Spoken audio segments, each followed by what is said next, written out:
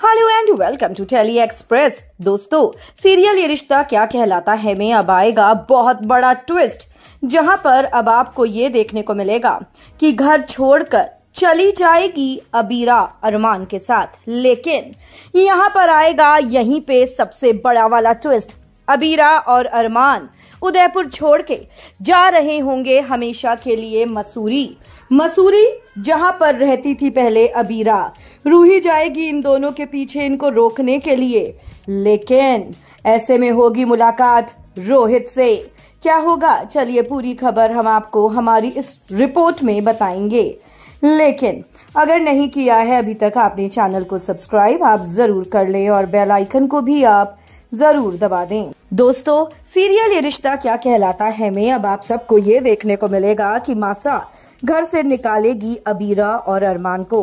अरमान नहीं छोड़ेगा अबीरा का हाथ। वो अबीरा के साथ घर छोड़ देगा, पुदार हाउस छोड़ देगा। लेकिन ऐसे में जब वो पुदार हाउस से निकलेगा तो रूही उसको रोकने की कोशिश करेगी। लेकिन अरमान कह देगा कि अबीरा और मेरा जन्म जन्म का रिश्ता है और मैं उसको कभी नहीं छोड़ूँगा। जिसके बाद पीछे पीछे जाएगी रूही इन दोनों के। ये दोनों बस स्टॉप पे पहुँचेंगे, बस टर्मिनल पर पहुँचेंगे और वहीं पर आएगा कहानी में ट्विस्ट, क्योंकि वहाँ पर इनकी मुलाकात होने वाली है रोहित के साथ। जी हाँ रोहित आएगा इनके सामने। रोहित को देखकर अरमान और अबीरा दोनों हैरान रह जाएँगे और उसके बाद होने वाली है रोहित की बात अरमान से। रोहित साफ़ साफ़ कह देगा कि भैया, मैं आप लोगों की ज़िंदगी से दूर जाना चाहता था और उसकी वजह थी रिश्ता आपका और रूही का।